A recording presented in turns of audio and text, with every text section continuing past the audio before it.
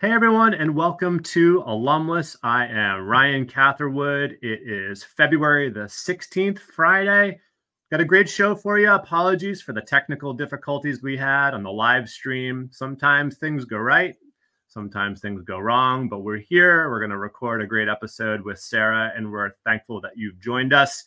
Uh, you're watching this after the facts. We're not live, so um, we will uh, try to respond to questions in the stream when we can complete the show and post it. So don't hesitate to ask those questions in the live stream. Uh, then when we post it on LinkedIn here after we complete the recording.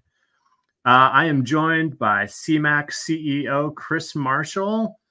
Uh, Alumless is a CMAC production. And of course, please be sure to pick up the bonus section of uh, the alumless by subscribing to our podcast version, which you can find through your favorite podcast app. of course, you'll hear the Friday Cheers section where we explore some other topics not specifically related to university advancement.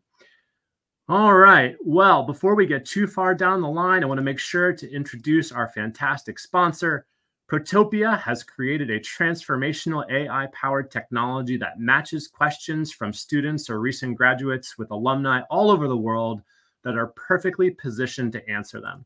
Without asking alumni to be mentors and participate in programs spread out over months or sign up for a new app or platform, Protopia makes scaling introductions simple.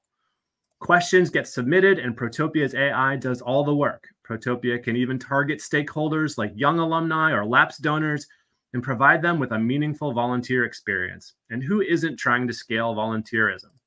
So visit protopia.co forward slash alumless for more details and check out the technology that schools like Duke, Denison, Florida State, and the London School of Economics are using to make sure their alumni networks are available to everyone. All right. Well, hey, Chris, we had a little discombobulation, but we're back in the saddle. We're uh, 45 episodes into Alumless and we're rolling with the punches. Every once in a while they happen. And the good news is I feel like our community is rather forgiving about these things, you know?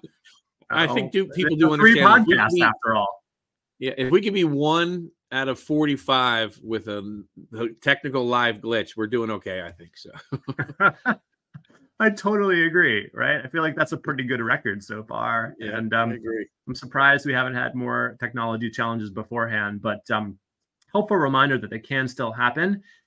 Uh, but look, you know, we have it's been a really great month, February. It's been a busy month for for CMAC. You know, this month we kicked off three new assessment projects with different schools across the country, which has been awesome we're always trying to provide recommendations that are fitting for those institutions. And um, when you think about it, when I think about it too, you know, what are those factors that really kind of help provide the type of fit that make you know our recommendations come to life through different types yeah. of programs, initiatives, or, or different approaches to engagement? Yeah, um, and I, I, thought when we when we first recorded this, I answered it really well. So I'm going to try to do as well as the second time, right? this question. And here's my you answer. uh, here's my answer on this. So uh, we try to deliver a bespoke product every time we work with a new client, so that we're not you know cutting and pasting, cookie cuttering from something else we've done, and being authentic to that you know goal um, and, and wanting institution to get value from our work, I, I, see there's three things that we need to understand before we can deliver any kind of assessment work. Um, and what I like to say is we know the industry and we're learning the institution and blending those two things together is the art form in consulting. And the three things that I think are most important are institutional culture. We need to know the place. We need to know what's really going on under the hood there and know and get to know them and the people in the place and the way they are and their traditions and histories. That's number one. Number two is the evolutionary stage of their alumni program is really important. Um, know, an Ivy League school may have 100 plus years of doing alumni engagement, and a regional public institution may have less than 10 years doing alumni engagement. So we need to know that in when we provide a recommendation. And the third one is an obvious one, but really important is budget and staffing, resource realities, where they are. I was had a call earlier today with a woman who's at Guilford College, who is one staff of 20 for 21,000 alumni, and she's it for alumni engagement. She's doing, she's wearing three hats. So recommendations to Guilford are going to be different than what we might do for a school that has, you know, four or five staff in that same scenario with 20,000 alumni. So uh, it's always going to come down to those things. So institutional culture, evolutionary stage of their alumni program, and budget and staffing realities. And sometimes when we do this work, we do the assessments, we learn that there are kind of fundamental alignment issues that yeah. are connected yeah. to the foundation, to the alumni association. How does school how should schools be thinking about positioning the alumni association? And how should alumni associations themselves be thinking about evolving in that area? Yeah.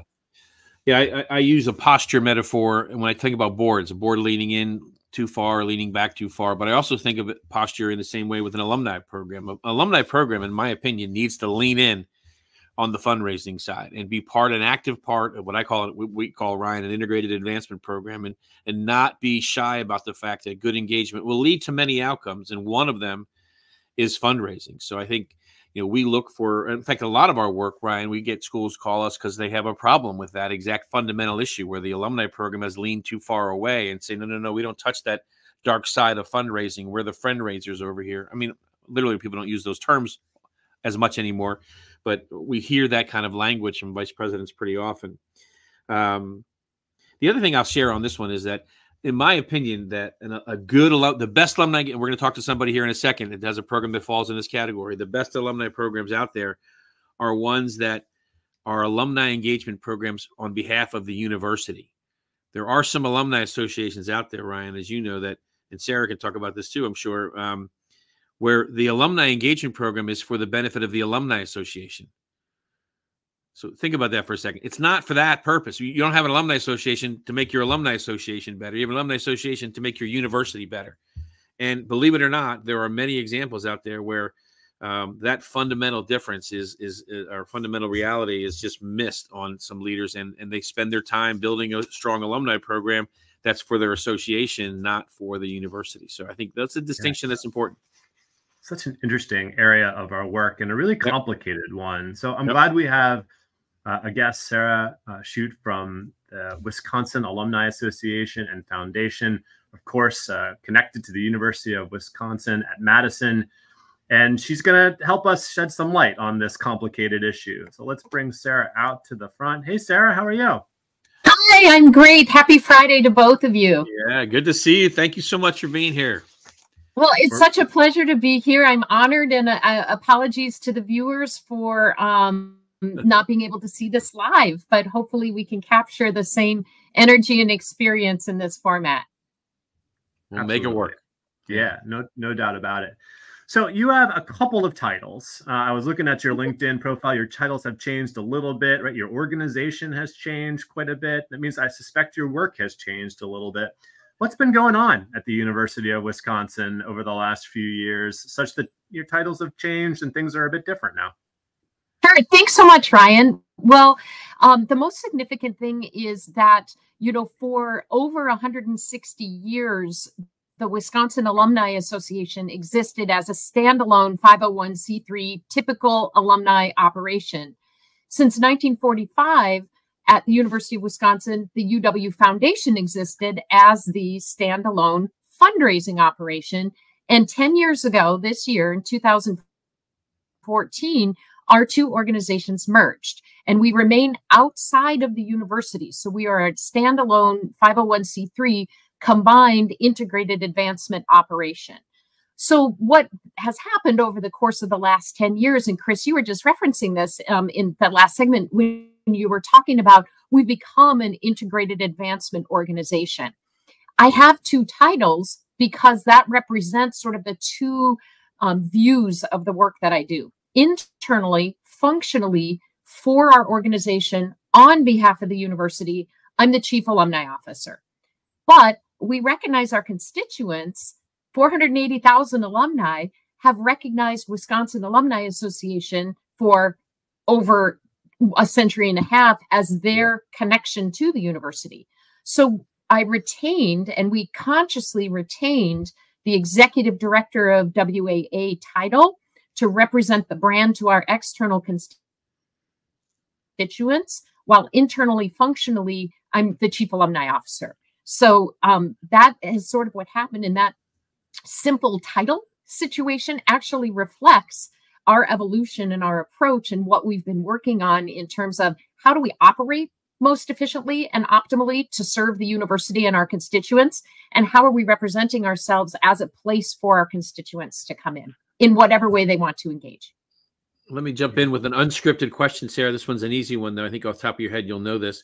Um, other schools have done you're one of the earlier ones in this process and other schools have mm-hmm. followed mm-hmm. this regard mm-hmm. the one i'm aware of is john valva at oregon state has a similar model to what you're describing mm-hmm. tick off a few others that you're aware of you were just at the caae meeting where these where all you guys got together so who else yes. is in the same boat as you in this integrated uh, single 501c3 model you know um, when uh, when we were going through this 10 years ago we used ohio state um, right. uh, while they you know we all continue to evolve um, we looked at ohio state a lot i know that iowa has made a transition iowa. to the center for advancement purdue purdue for life has made a transition those are a couple of peer institutions within yeah. the big 10 um, I, you know, one of the points of variation are sometimes that integration is happening and it is within the university, and sometimes it's happening and it's separate from the university. And honestly, I have trouble keeping track of of which is which, but um, it is becoming.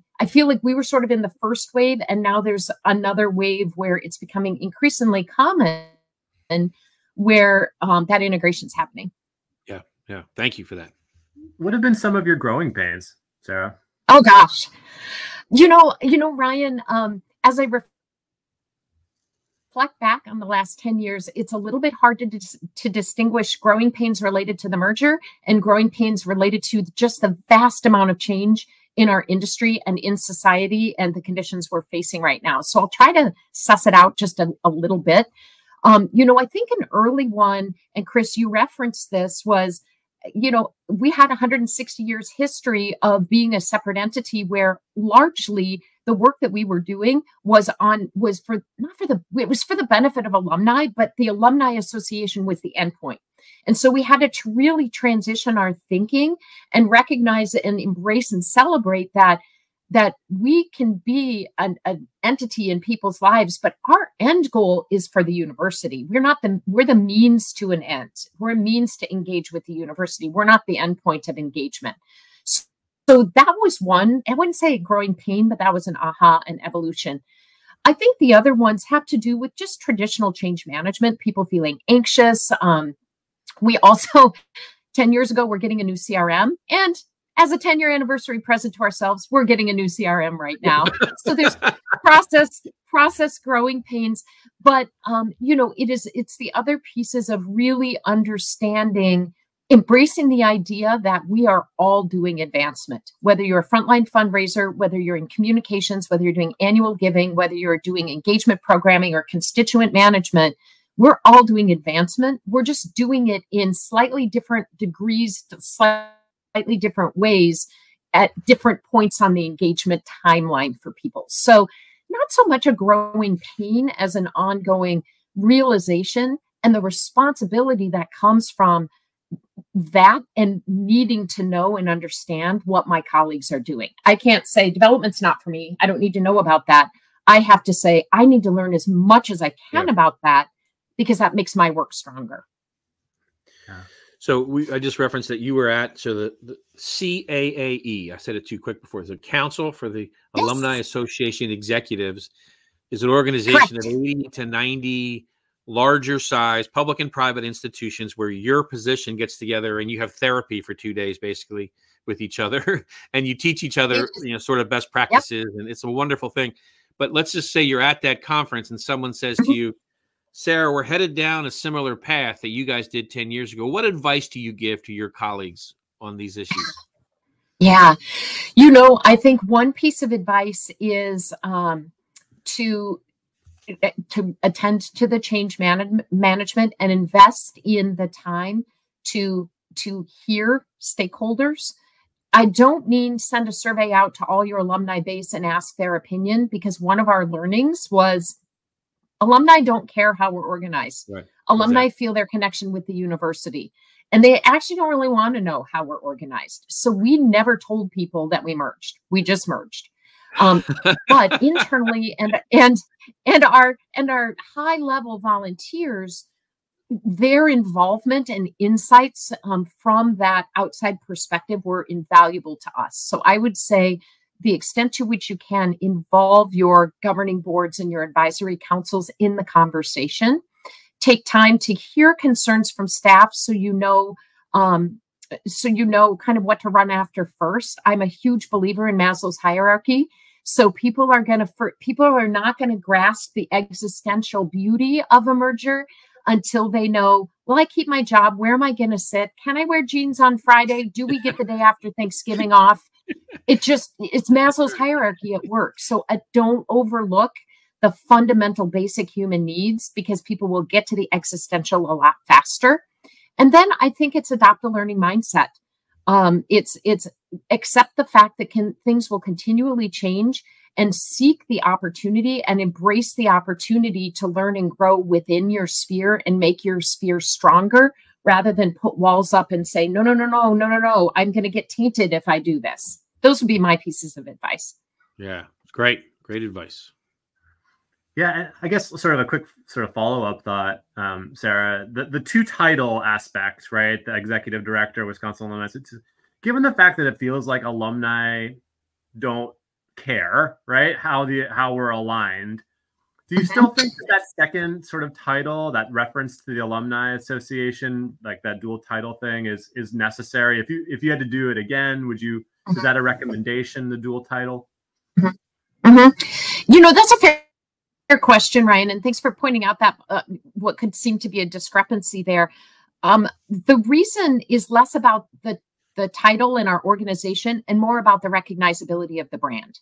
And so we had, you know, we've spent decades and decades creating brand affinity and trust with our constituents that if they travel, if they participate in the WAA travel program, that means something. If they're in a WAA chapter, that means something. If they're at WAA's Grandparents University program, that means something. And so we retained it for that recognizability of we are we are the place where you can come and amplify your relationship with the university it was more we didn't see a need to eliminate it um, mm-hmm. because people recognized it. So it's really less about how we're structured and more about what is the brand we are going to put out in front of people when we are focused on one to many engagement at scale.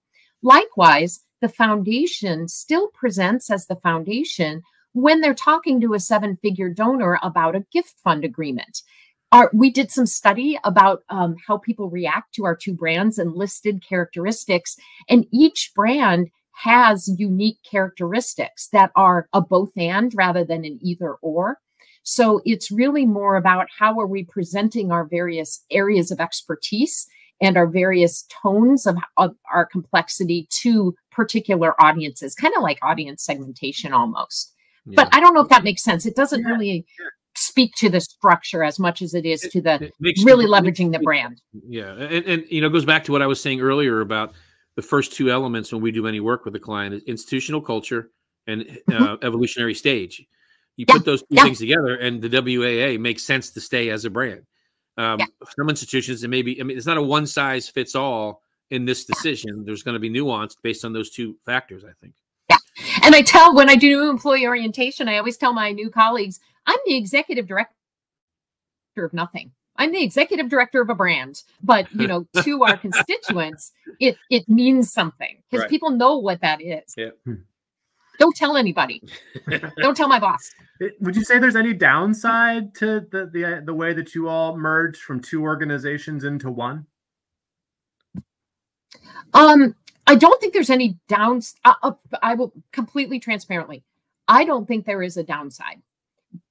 That said, I can only speak from the perspective of our situation at UW Madison, it was absolutely the best thing we could have done for our constituents and our university for our organization to merge. As we went through, you know, challenging times through the pandemic, there were benefits because whereas I had colleagues in independent organizations really thinking about their revenue streams, I think about my revenue streams in a different way. I think about my resources in a different way. So, in terms of for us, absolutely the best decision. We are able to go to scale much more. We are able to go to a higher level of performance in the products and the experiences we put out because we have more resources. And we're really able, I think, to um, use our tools, our CRM, our data, and a similar approach to really strengthen the advancement operation and be a better partner with campus, much more so than I could have done 40 with 40 people 10 years ago. Um, downsides could be in how you go about. And again, that's got to be unique to each individual institutional situation. I would say that without buy in of leadership and um, without buy-in of leadership of the respective organizations and the university it could be a downside because you could end up spending a lot of time trying to repair that. We were already in a good place with that. Um, so there could be some pitfalls uh, but for us and for the results and the outcomes we're striving for with our constituents and our institution is hands down fantastic would you say there's a program or initiative that you really you couldn't have done without the merger as as things have progressed? You've sort of realized some of those efficiencies maybe not just a program but maybe process and improvement that y'all have gone through? Could be either. Yeah that's a really good question. I know that um that had we not merged we would not be where we're at in terms of ability to gather data analyze data use data and use it in a comprehensive and strategic way in thinking about our audiences and the impact of our our products whether they're communication or um, whether they're stewardship or whether they're engagement. So that that couldn't have happened. We wouldn't have had the capacity to use data and be as far along um, as i feel like we are. Um, you know i think the other thing and uh, over the course of the last 10 years we've gone entirely through one campaign and we're in the midst of celebrating our 175th anniversary.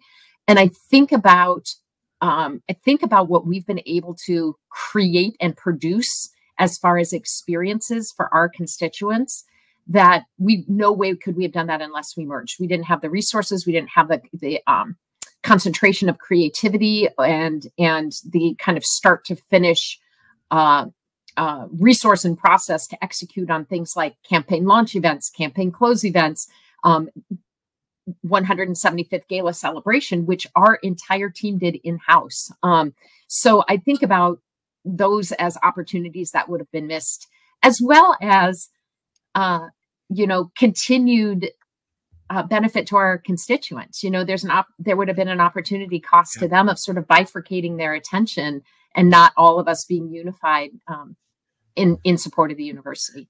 You, you talk about the campaign launch events like it was just a natural thing, and there are some alumni leaders out there who see the alumni see the campaign launch as someone else's responsibility. They're not part of that because they're in the separate group. And you just talked about it so naturally, and it just makes complete sense to me. I love the way you speak about it. So that's great. Um, uh, remind me, Sarah, how long have you been at the University of Wisconsin? I've been at UW in different roles since 1994. I started, I'm a student affairs person. I started in residence life right. um, and worked in the profession for about 10 years. And then I went over to the School of Ed in an outreach role. And then I started at the Alumni Association in 2001. Right. And and Paula was the leader then. Um, Paula was yep. Paula hired me. She was the she was the CEO and president of our organization. Yeah. So you started when you were nine, 30 years ago. Right? You're very kind. Yeah. I had a birthday this week. That was a that was an uncomfortable birthday. So I'm uh, I appreciate you saying that. I'm approaching that uncomfortable birthday too in a couple of years. Um, so so having been at the institution and knowing how the so you're in the association starting in 01 and 13 years later 2014 you you move to this merge so there's a culture that exists then and then there's yeah. a culture now. How would you describe the changes in the culture between those two eras if you will? You know i think each of our cultures kind of came to the center a little bit. Um, i think uh, we were um, as a as when i first started you know we were people describe themselves as a mom and pop operation. And it had been a mom and pop operation. I think it was around 35 or 30 or 35 people when I started, and we got to about 45 before we merged. And things were still very much very collegial, very collaborative, very family like, but a little fly by the seat of your pants, a little bit um, whim. Uh, on, hey, that's a good idea. Let's do that. And I'm not criticizing that because I don't think we were alone. We were just sort of doing things that we thought our alumni would like. And we didn't have a lot of data or a lot of evidence of it, partly because the world it didn't exist so much then, but that was just the way we operated. The foundation at the time, I think, was much more conservative. You know, there were um, pretty strict dress codes under that leader. There were pretty strict um, approaches. And I think after we merged, that there were different, there was a leadership change too, but some of that loosened up. Um, and I think our colleagues are, are relieved and happy about that. But I think as we came together, we were able to bring a more one to many community perspective and then sure. learn and adopt more of the gravitas of when you're talking mm-hmm. to a seven figure donor and what you need to think about more of the mm-hmm. discipline of how we measure our work um, and and really thinking through stewardship and that extending relationships with people ours was more of a let's do this thing. It's overdone. We did great. Boom, on to the next thing. Boom so next, um, right. yeah. we kind of we relaxed them and they upped our game more. Yeah. So there's a loosening up and a buttoning up to meet in the middle, basically, right? yeah. Yeah. That's cool. Great. What What are you most excited about, Sarah, as you think about the, the second half of the year here and the work that you all are doing? Yeah, thank you for asking that. We are right smack in the middle of our 175th anniversary, demi semi sepcentennial. Um, we did wait a, a minute, wait a minute, cool wait a minute, wait a minute. Say that again. yeah, yeah. That. Demi semi sept centennial, which and, and, strangely, that is apparently the accepted term for a 175th, and technically it translates to half of half of 700. Why they chose to go at it that way, I don't know, but that's what it translates the to. Correct, that's been fun for all of us to practice all year. The correct pronunciation we did is 175th. Really, Sarah, just so you know. that that's why we call it the 175th. I we did some really great, really, really great stuff last year, including a state tour um, around to, to six or five key areas of the state. We're going to six more this year. So I'm really excited to wrap up that state tour, spread the message of university impact. Um, sort of internally functionally, like many of my colleagues, I am trying to crack the nut and optimize our chapter network. And how do we harness the passion and the dedication of those volunteers in a way that points in the direction of where we need to go strategically and mitigate, mitigates and minimizes risk for both entities.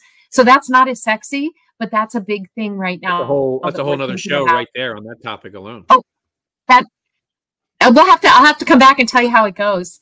Um, you know, the other thing I'm both excited about and working on is, you know, case case we've been working under the alumni engagement metrics for several years now. Um, and really excited about where the industry is going in terms of unification on that. We're really working on what's that next step and how do we now that we know what we're measuring and what to track, now how are we measuring impact? yep. and really leveraging our new CRM and and collectively working with our colleagues to think about what are our shared outcomes and how are we showing that we're getting to those outcomes beyond 100 people came to this great thing and had a good time yep. like how are we yep. showing deepening a relationship how are we showing cultivation how are we showing um, you know uh, uh, movement towards supporting um, where appropriate um, so yeah, I'm excited about that. I have some team members, including myself, going through the same training that our development directors go through so that we can experience and be familiar with the language and the processes they use and match and marry our great strategy and point of view even more closely in ways that will that will contribute to the enterprise. So that's just a handful. No shortage of things to be excited about. Yeah, I'll say.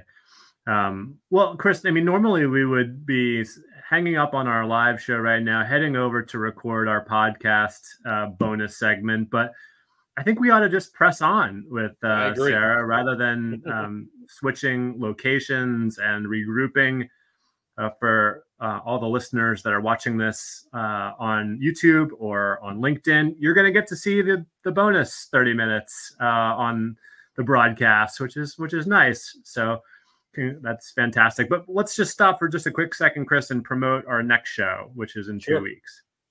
Yeah, we have uh, someone I've worked with um, for a while and uh, wonderful guest, Cheryl Harrelson, currently oh. at UC San Diego. But do you know what's next for her chapter? Right? Yeah, she's on May 1, she'll start as the vice president for advancement, leaving an AVP for an alumni engagement role to become a vice president for advancement again which she was at New Mexico State. She went to UC San Diego in an AVP alumni and career services role. And she's moving back to a VP for advancement role at Georgia State University starting on May 1. But she uh, graciously agreed to stay on our show as a UCSD guest and talk about lots of things. And she's awesome. She's fun, super smart, and has great perspective. And we'll have a great show with Cheryl as well. Yeah, that'll be great. Well, um, normally we kick off the the second half, Sarah, with just for people who aren't all that familiar with the University of Wisconsin Madison, you know, that's to, no one. No one is not familiar with UW. I know everyone's heard of it, but I know lots of people have never been there. People know you're the Badgers and know about Madison, but what's the what's it like there on campus? What's the vibe? Oh my gosh. I well, I mean everybody thinks their campus is the most beautiful, but I I have to say we're we're so fortunate, you know, UW Madison sits in a medium sized city, our state capital in south central Wisconsin. And our, our university sits on 936 acres that butt up against Lake Mendota. So you can see, if you can see the picture behind me, um, that's my, the, the west side entrance of our alumni center. And, and whoops, I'm pointing the wrong way. That's a lake. So I have, um, I have Lake Mendota right out my window and the lake. And then immediately to my west, no, it'll be that way. Sorry. Um, and my cat, of course, just jumped up in my lap because he knows that I'm in the middle of something. Um, is our Memorial Union and our Memorial Union Terrace. So we pride ourselves as a university on a really strong sense of place, physical beauty. We also um, really uh, recognize and try to honor and try to keep in the front of our mind that you know the university's been here for 175 years but this area of wisconsin uh, has been occupied for more than 12,000 years by native people and so the we have four lakes in the madison area and the ho-chunk word is Dejope. And so really recognizing and bringing that history in is something that um, something that's present in our university you know, it is, we have 50,000 students. Um, if you took the faculty, staff, and students of Madison um, and considered it a city, it would be the fourth largest city in Wisconsin. Um, and it is, it is full of energy. It is full of, of energy, uh, irreverence in a spirited, intelligent way, active, um, vocal, but very dedicated, very smart, and, and humble people. So physical beauty, fun and funny and smart and humble people, a lot of good places to eat, great weather in the summer, great weather in the winter, honestly. Um, that photo was taken uh, in June, wasn't it? Sarah? no, actually, this photo was taken last year. We are having such a warm winter, all the snow is melted, and actually the lake is breaking up today, which is kind of sad environmentally. It's a little scary um, yeah. for us, but and big winter festivals happening couldn't happen. But this is typically what it looks like yep. in the winter only. We're, I'm it's here beautiful in the 10 inches of snow on the ground and a storm coming in tonight. So we're getting it over yeah, here in PA. you're more wintry than we are right now. But yeah, it's a Madison's a great city and UW is just a, a beating heart of that. Yeah. No no pickup hockey out your window at this moment, but uh, on a good year, right? Not at this moment, but I can look up I can look up the lakeshore um, any in a regular winter, and the fraternities are right up that street. And literally, in a typical winter, there's at least eight different ice rinks. So it's like I go home from work and I look, and it's like the kids are outside playing ice hockey after school. There's just like hockey, That's hockey, cool. hockey, hockey, all the way up the lake.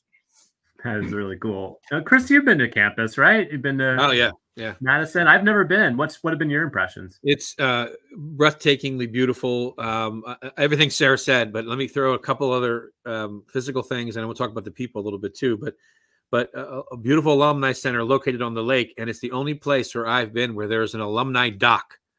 because in the Yes. summer, they, you have an alumni boat as well, Sarah. yep, we have a pontoon. We have a pontoon boat that was donated, and we use that as a way for for staff teams to go out. We do a member every Friday in the summer. We have members, WAA members, take boat rides. It's a stewardship for for donors. It's Cool. sometimes used for student athlete recruitment. Oh yeah, it's awesome. And when I was there, um, it was about eight eight to ten years ago was the window I was working with you guys, and um, one of the things you guys were building at the time was was alumni plaza. Is that the what you call it? Yeah.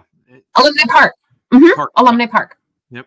Mm-hmm. So that you know, there's just the- clear dedication to. I oh. mean, i- at some institutions, the community is faculty, staff, and students. At Wisconsin, the community is faculty, staff, students, and alumni right in there. For So I love that part of For it. sure. The other impression I have too, starting with Paula Bonner, your predecessor, Sarah Schutt, yourself, and then the, the, the gentleman who oversees the whole thing at the foundation level, Mike Knetter, you know, three of the best thoughtful, strategic leaders I've ever worked with. Wonderful, wonderful people. So with this great place and ethos and and culture, there's these great leaders that go with it. So it's just it's one of the top places out there in the country as far as I'm concerned. So well done all around. Chris, It's That's- like you guys that's very kind. so you guys CASE has the last. Uh, well, some days, some whenever Chris comes to visit, we do.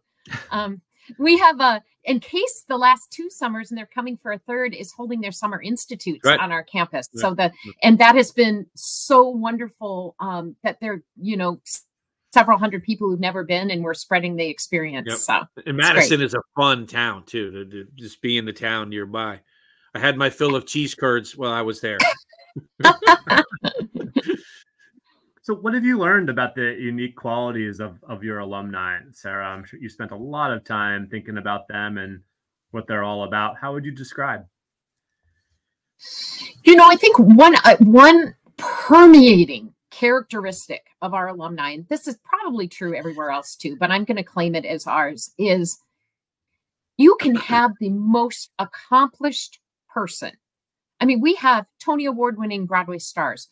We have the the U.S. ambassador to the UN, um, CNN correspondents, captains in, of industry, and to the person, you will say, "Oh my gosh, we're so proud that you're an alum," and they will sheepishly kind of say, "You know, I I had a great education at Wisconsin. I had no idea this, is where I would end up, and I just got lucky along the way." And I, I think, and you know, if you hear that from one person, you're sort of like, "Yeah, yeah, yeah." Consistently, even our most accomplished alumni recognize, and th- thank goodness for us, they do recognize the power of the education and the quality of the education they got, the quality of the experience that shaped them into who they are, and are really humble about it. I think that is that is something that continually impresses me. There is also kind of a really unique I said irreverent earlier, irreverent sense of humor, sort of an ironic, irreverent, take it to the edge of almost being inappropriate, but not quite kind of kind of vibe that happens. And I think, and this is true, I know of many, many places, just this this passion for wanting this the current students to have as good, if not better, experience than they Yeah. had, and thinking about what are students doing now? How can I make it better? Um, those are things that always consistently stand out. Can you can Have you, you ever off been top of your head, surprised? Go ahead, Chris. uh, real quick, right before you go, Sarah, off top of your head, one, two, or three names of alums who are the big names in Wisconsin alumni lore. Oh my gosh! I mean, I can name. Um, uh, well, you know, you have ath- athletes: Russell Wilson, J.J. Watt. You know, all, all of our tremendous um, athletic program, um, women's volleyball, Dana Rettke.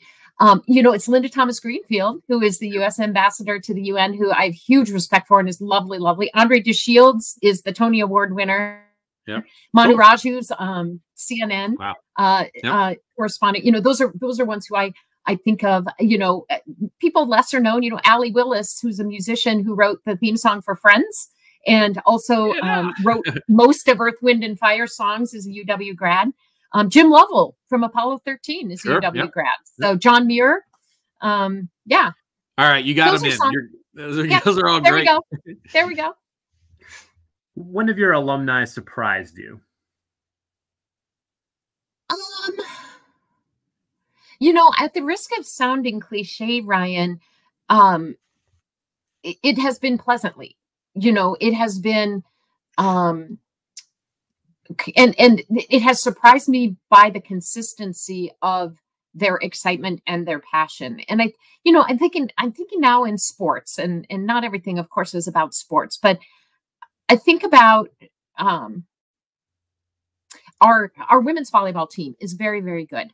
We were really hoping that they would have taken a really um, had had another national championship this year. They were too.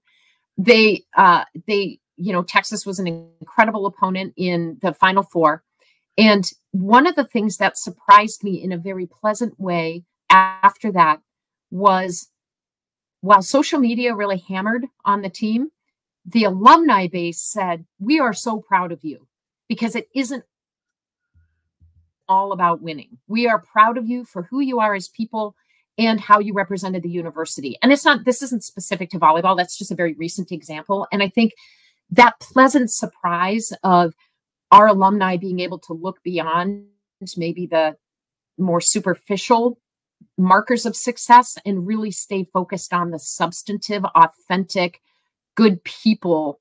Um, we want to generate good people who are doing good things in the world first and foremost, and people's just undying commitment to that and consistent expression of that. Sarah, Sarah, you've done some really cool things over the recent years in your Thank leadership you. role there. Um, I've followed it and we've talked about it. In fact, I've I've had you talk to my clients because you do such cool things. Thank you. Um, share share a point of pride and what you do to keep things fresh there in your work. Yeah. yeah. You mean besides watching this podcast? Right, exactly. oh, okay. Okay. um um you know, I'm really proud of how closely we collaborate with our colleagues in marketing. Um, marketing is a separate division, but we're all in advancement, and and specifically how closely we collaborate in data. And we we have for nine years done an affinity survey uh, with our alumni. We have nine years of incredible data that tells us more about how our alumni think and feel, and how we've been able to collaborate on what that tells us, and then use that to build strategy to try to affect change. So one, I mean, just one tangible example is uh, we noticed that our recent grads um, had had a really, really high feeling of recommending the university and willingness to advocate, not so much um, likelihood to give. So we changed our strategy with them. We took them off of annual giving asks for the first three years after graduation, and we resourced wow. engagement activity. And over the course of the last three years, we have seen their affinity scores, their feeling of connected, their feeling of informed go up when we're seeing all other age cohorts go down. So our ability, and I'm not, it's not braggy, it's really a collective no, no, kind no. of we're going to use data we're going to look at data we're going to make choices where we want to move the needle we're going to thoughtfully apply strategies and then we're going to see if it worked or not. Really really proud of that process and how we manifest that over a variety of different um, age cohorts and and audiences. Yeah i don't think it's bragging at all. I think it's just really smart use of data. And, and let's go back to us for a second and just say and rewind and, and, and say you just out loud said we don't you, I'm, I'm going to paraphrase, but basically, you're not soliciting your young alums for the first three years out. Sarah, no. do you know any other we do that decision? I don't. We do. I should say we do solicit them for the days of giving. Day of giving. That's that usually where you hear. Yeah. We yeah. approach as an engagement first sure. and foremost. So we want their participation and we solicit their participation in social and stories and a gift if they want but in terms of the mailers, we we right. don't. We don't centrally from the alumni association on behalf of the university solicit them for annual giving for the first three years. Yeah, the day, the day or for membership. Yeah, that's great. The day of giving um, pieces feels more organic and grassroots, so it would be natural to include them in that versus the other direct yeah. mail stuff. So let me let yeah. me flip the coin on you and, yeah. and, say, you know, in ten. So you've been the leader there now for ten. How long? How many years has it been? No, seven. About seven. Seven years in a leadership mm-hmm. role, but you, that's right. The change happened right before. That's right. Um, but are yep. there things that you did have tried that didn't work? This sounds like an interview question. Give me an example of a time where you tried, like a job interview question, something that failed. Yeah, right. What you learned from it? I, I, this is, this is a hard question, not because I can't think of anything, but because there's so many. I can't, I can't think of um one. But well, no, actually, there is one. Um, that we we a couple of years ago were trying to be really strategic about our chapter scholarship program and work much more closely with the university on trying to align the chapter scholarships and their recipients with university recruitment priorities and a, a whole year long process was in a, was implemented to have a small group of chapter leaders work through and pilot a thing and then at the end of that we thought yep this is going to work and we announced it and it sort of blew up it didn't sort of. It blew up. Um, and it was not pretty. And uh, I would say the um, the variable was even though we had involved some stakeholders in the a small group of stakeholders in the process, we did not do a good enough job of bringing people along and involving them in the in the thought in the thinking. We sort of we didn't do change management well. So right. given how well i feel like our merger did change management to not take that lesson big miss on on our part yeah. on my part yeah. but the lesson in that and when i think back on things that have happened that we've tried tried that we've done that were not optimal it kind of all centers around this idea of we didn't ask our stakeholders enough we didn't seek enough input from them we weren't thoughtful enough about the impact on the the ecosystem and really kind of got more centered on ourselves and our process than on their experience. So I, I would say that is a theme of when things aren't optimal for us is when we've we've almost we've given ourselves too much credit for what we know or what we think we know and not engage them. Such great self-awareness that what you just articulated is what I would boil down to self-awareness about decisions you made and how you go about it. So when you facing them next time, you know what to do, not do, right? because so much value isn't just being asked for your opinion you know Amen. i think yeah. people people can get over if you don't take it but if you don't ask is when you get into that riskier space I have particularly to say those volunteers that have been engaged for years, you know, and, and are used to being consulted, right? And are going to let you know because you've always asked them to let you know, right? Um, yeah. Yeah. um, I, I, was just going to say the times I get most mad at my alma mater is when they don't do that because I am that person, very involved, been a donor yeah. forever, all that. And when they do something, I'm like, wait, what? And then I get mad because they just didn't do it. Yeah. yeah. Yeah. Sarah, let's switch gears just a little bit. Let's go to our Friday cheers section of the show. We always try to end our week on something. Maybe it's advancement related, maybe it's not, but um, something that brings you inspiration, something that's got you thinking what is your Friday cheers? Chris had mentioned that uh, I was at the CAAE Winter Institute last week, and so that in and of it, like that entire experience um, with with around 65 colleagues who do my who do our jobs all, all over the country, um, is is enriching and definitely brought me great cheer. We had a speaker um, during the institute, and I put I put a link in our little chat here um, Muhammad Anwar, who who is a, a leader of a company who has transitioned into being a leader and consultant for how to lead. Um, and he and a colleague, Frank Danna, his colleague, not mine, wrote a book um, called Love as a Business Strategy. And that was just such his talk, his humility, his vulnerability, his going through his process of how he learned and what he learned um, was really inspirational just hearing from him. But the content of his book and what he presented was such a good reminder that, you know, we've got all this stuff coming at us all the time, you know, questions about higher ed and questions, you know, with state legislatures for those of us in public institutions and, you know, worries about declining enrollment and people feel a sense of belonging and all that coming at us. And this was such a great reminder that really it comes down to this Maslow's hierarchy, fundamental importance of the human need for connection and relationship and to feel heard and to feel valued and for people to just be real with each other. And time and time and time again, that's when you're stuck, that's the solution. That's the best solution. So that's maybe that's maybe a little I don't know, too awesome. heavy yeah. for a Friday. It was awesome. you want to read that book. Actually, Maybe we should suggest it to our friends at Washburn McGoldrick, maybe for the client conference. They're looking yeah, for some yeah, yeah. Good, good ideas. Oh, we'll make sure he was terrific. He was, yeah, yeah. So I mean, that was that was a great that was a great thing. I if I can cheat and add another one completely unrelated.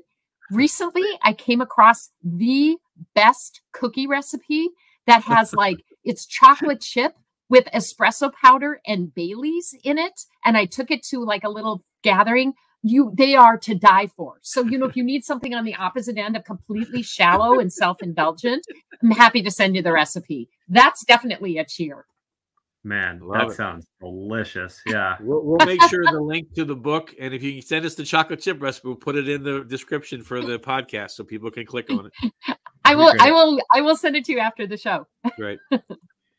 Chris, how about you? What's your Friday cheers? Yeah, this this isn't as uh, decadent or lofty. It's, it's something sort of practical, and I've seen this unfold over the last week or so, and it's kind of been on my mind. Something I would have been if we were at a water cooler, I'd be asking you about, and it's about performance management, how we oh. manage our staff, and I find it extremely easy. I was a former literal coach, like I was a coach of a team. And when someone's doing well, to tell them they're doing well and coach them up, make them feel good about it, I, that's a natural thing for me. I do it all the time. But I've seen examples recently where, where the great things are happening and the leaders aren't saying anything about it. I'm like, come on, you got to acknowledge that.